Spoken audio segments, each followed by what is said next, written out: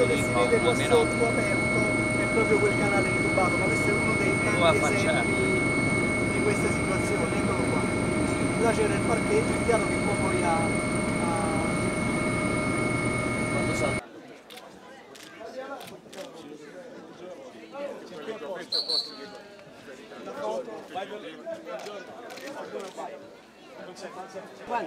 Nel 2016 fanno i cent'anni. È bello a vivere a questa età, è bello quando uno si alza la mattina, ci fa le sue cose, può parlare senza sbagliare. Allora è bello vivere. Grande, grande, grande, Auguri anche a voi. Lopano Lorenzo. Grande Lorenzo, buongiorno, buongiorno a tutti.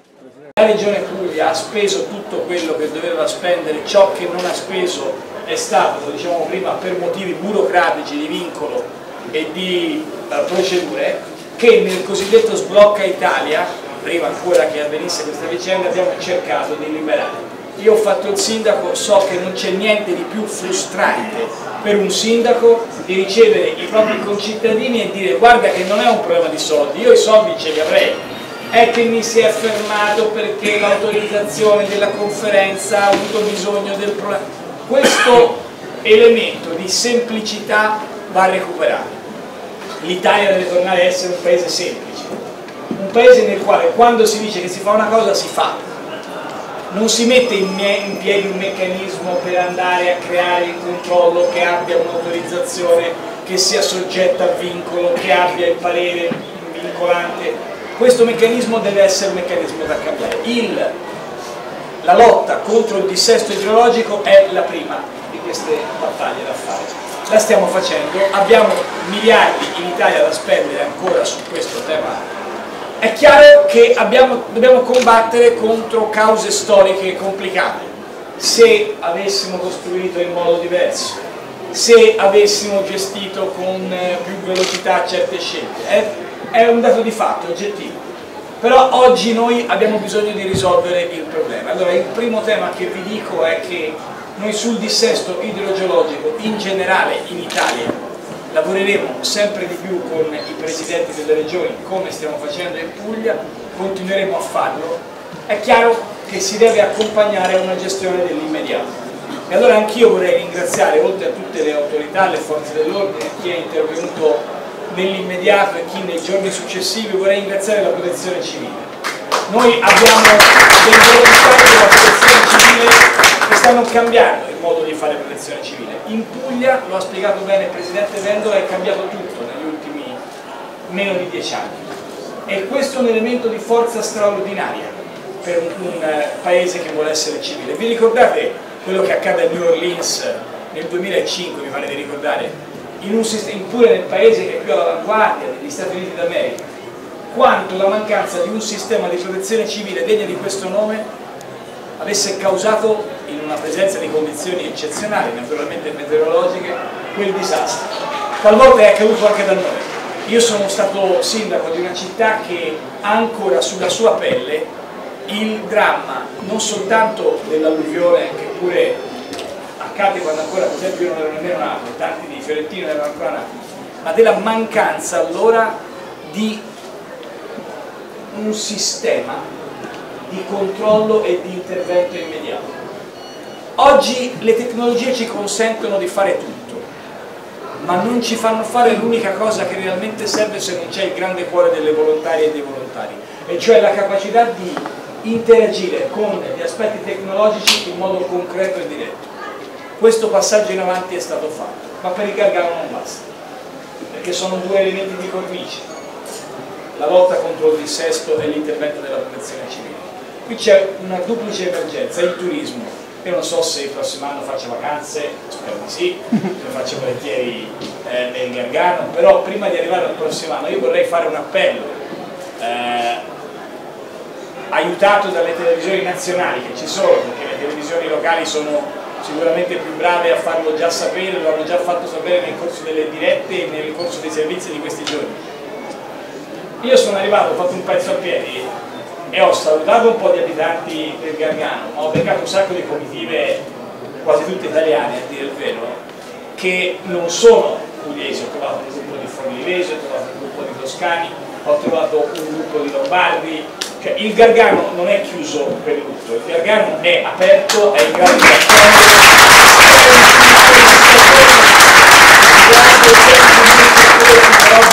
specie per chi va a scuola, ma il Gargano è nelle condizioni di essere quel capolavoro di bellezza che è. E questo credo che sia un elemento da dare come messaggio molto forte. Perché poi di fronte alle emergenze ci sono due modi di reagire. Il primo è quello di mettersi a sedere e non rialzarsi più. Il secondo è quello di essere tosti, fieri, orgogliosi come senz'altro voi sarete il tema del turismo esiste, lo ribadiamo con grande determinazione e però c'è il tema dell'agricoltura.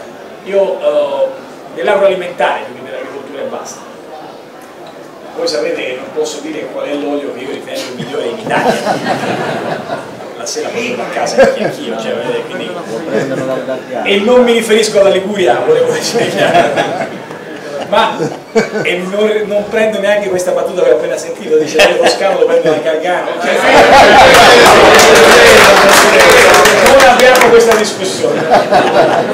Diciamo questo, siccome a noi piace competere, è compito del governo mettere in condizione questa terra di competere con l'olio straordinario che produce e quindi di intervenire in modo immediato come Galletti e Martina si sono già impegnati a fare, il Ministro dell'Ambiente e il Ministro dell'Agricoltura, perché anche gli interventi in eh, ambito agroalimentare siano rapidi e siano capaci direi di, di dare una risposta concreta che purtroppo non può che essere urgente perché la situazione come tutti noi sappiamo specie dopo questo, questa stagione che non è stata granché per, per l'agricoltura, ha piovuto un po', piove il governo ladro è arrivato il governo nuovo, ha piovuto in modo... Che applaude? Lì?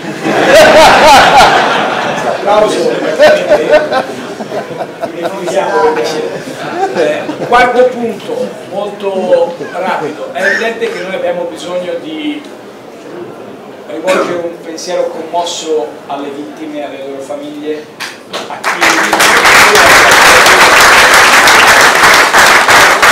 delle circostanze, della lettura delle circostanze, eh, io credo che per una popolazione sia fondamentale saper ripartire e ripartire con lo stimolo, la spinta e lo slancio che sicuramente il governo ci mette dicendo io sono qui semplicemente non per fare grandi discorsi ma per dire che tema della dichiarazione di emergenza è evidente che noi attendiamo, credo in settimana, la conclusione della procedura, siamo nelle condizioni di fare la nostra parte, faremo la nostra parte come è doveroso. Eh, però accanto alle dichiarazioni di emergenza, allo stato di emergenza, alle dichiarazioni burocratiche, a tutti gli aspetti formali che sicuramente saranno seguiti molto bene, c'è un elemento che è l'elemento chiave e che è l'elemento di rialzarsi in piedi e ripartire Renzi, tu lo puoi dire soltanto se garantisci che il governo fa la sua parte. Sì, sono qui per dirvi che il governo farà la sua parte.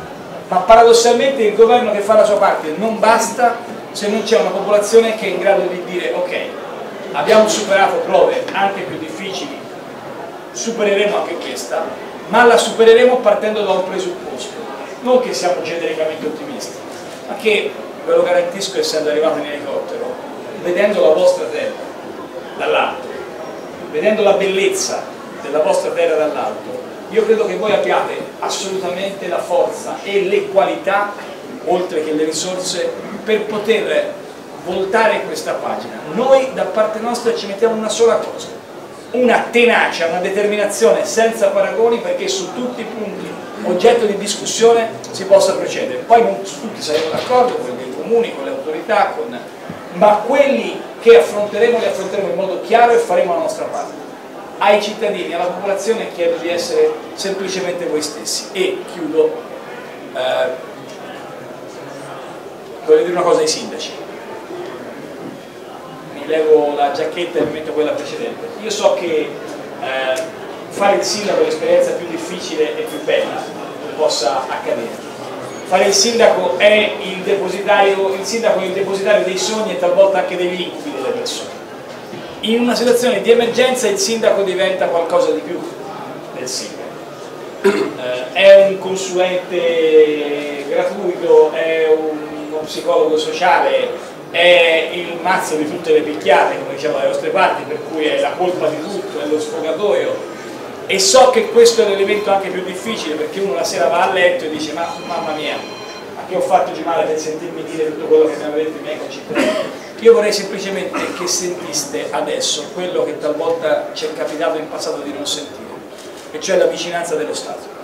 Perché quello che voi fate è qualcosa di più di un semplice fatto amministrativo, burocratico. Nell'accogliere anche il dolore della vostra popolazione, nel coordinare il lavoro delle forze dell'ordine, cui va la nostra gratitudine, nell'ascoltare le difficoltà dei cittadini, voi fate una cosa straordinariamente più grande della semplice constatazione burocratica. Voi fate politica con la P maiuscola e siccome in questo momento fare politica sembra una parolaccia, ecco io vorrei ringraziare tutte le autorità a partire dalla, dalla, dal prefetto, dalla signora prefetto, la sua eccellenza il prefetto, fino a tutte le altre autorità, vorrei dire in particolar modo ai volontari e ai sindaci che non Matteo Renzi, non il Presidente del Consiglio, ma il Governo della Repubblica Italiana vi dice grazie, vi auguro buon lavoro e vi assicuro che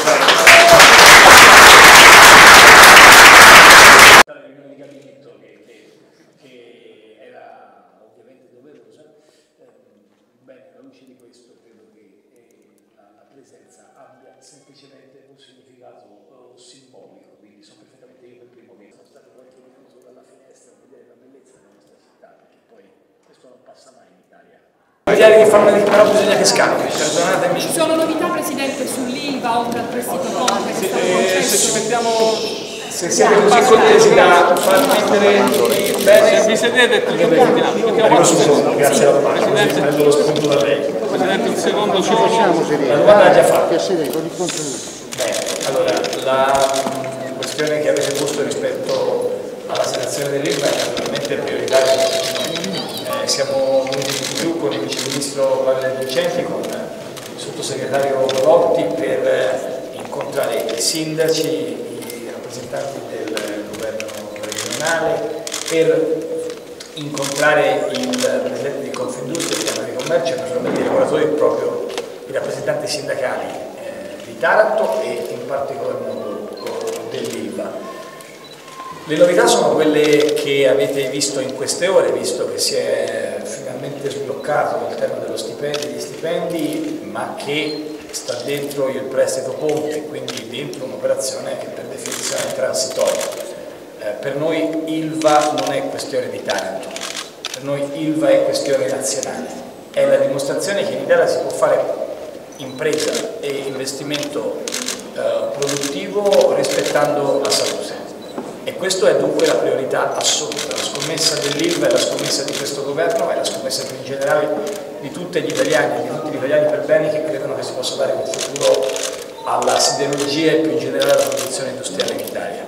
È evidente che la tensione a Taranto nei confronti del governo è stata molto forte nel corso degli anni, non so da quant'è che non venisse un Presidente del Consiglio qua, eh, io però penso e credo che quando vieni alla Fiera del Levante, quando vieni cioè a parlare di futuro dell'Italia, di futuro del Mezzogiorno, di futuro della Puglia, un passaggio a Taranto fosse eh, il minimo, il minimo fosse doveroso, sarei stato un vigliacco a non essere qua oggi. Ho concordato, grazie alla disponibilità del prefetto e degli interlocutori, che la prossima volta in cui io verrò a Taranto sarà entro Natale, perché diciamo alla fine dell'anno, per cui torneremo qui a fare il punto della situazione. Eh, è evidente che ci sono tante questioni aperte a 360 gradi, la grande ehm, richiesta e disponibilità e in qualche modo interesse che è stato dimostrato fino ad oggi da da alcuni imprenditori è segno evidente che eh, questa partita, la partita di Ilva, è una partita che appartiene al futuro e non solo al passato. Eh, non vi tedio per evidenti ragioni di tempo sulle questioni portuali, sulle questioni nazionali, sulle questioni di Tempa Rossa e in generale delle polemiche adesso collegate. C'è in, uh, in sottofondo un momento non particolarmente romantico perché sta parlando in bagno, ma eh, dalla finestra della prefettura è visto uno scorcio della vostra città e io credo che questa città meriti di essere raccontata per com'è e non soltanto per come è stata dipinta nel corso degli ultimi anni dalle tragiche vicende che vogliamo comunque affrontare, che stiamo affrontando e che stiamo risolvendo. È una città che è una città profondamente italiana nella sua bellezza, noi dobbiamo farla diventare una città nella quale si possa respirare in modo diverso, che si possa respirare il futuro, non soltanto avere la situazione di difficoltà che conosciamo.